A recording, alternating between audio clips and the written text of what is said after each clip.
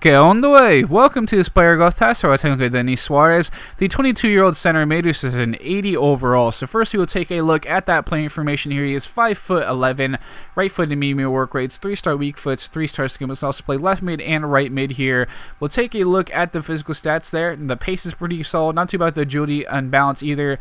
Uh, stamina is, is decent, I would say. Then 82 reactions also. Mental stats, 81 vision, 77 attack vision is pretty solid also. But technically very good ball control, drilling from start long with passing, crossing, finishing, free kick accuracy, shot power, long shots are not too bad either. Also does have 80, 82 curve from a start there, but a plus two at the end of that first season here. Some good improvements all around physically uh, and technically a little bit to the mental stats also, but uh, really nice improvement to the finishing also. Uh, will certainly be a very good center attacking mid or winger for you as he starts to improve quite a bit in the passing stats, the short passing especially. 93 short pass at 85 overall is great to see, and uh, more dark green there, the crossing and finishing, lovely improvements all around there. Stand tackle starting to improve a little bit more. That big attack position growth was nice to see also. And of course, stamina has been improving a lot uh, as well here. But 87 overall at age 25 is what he would cap out at. Again, some huge improvements technically all around there. Love to see that.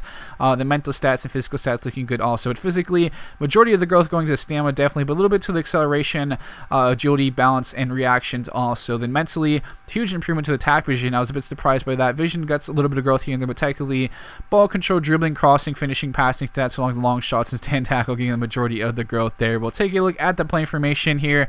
Again, 5 foot 11, right foot medium work rates, 3 star weak foot, 3 star skill was the dribbler, acrobat, and clinical finisher specialist. Now, taking a look at the calculations 89 as a winger, 88 as a center forward, 89 as a cam, and 88 as a right mid, left mid. So he's more highly rated on the wing as well as playing as a cam and center forward than he is as a center mid, but certainly can be a very good attacking mind center mid for you. He's not going to be the best tracking back. He has a stamina, good pace to help out, but the stand tackle and marking stats, uh, slide tackles stats are not the best. So if you do play him as a center mid, to want some uh, more defensive minded players next to him to help out. But physically, still very solid, good pace. 87 agility also is nice to see. 79 balance, 83 stamina, 86 reactions, 84 vision, 85 attack position, then 92 ball control, 90 dribbling, 83 crossing, 88 finishing, 83 long pass, 95 short pass, 87 long shots, and 85 curves. So really good attacking player all around. Like I said before, he's better on the wing as well as playing as a cam or center forward. So, uh, uh but still, again, will be solid as an attacking minded center mid for you. So, uh,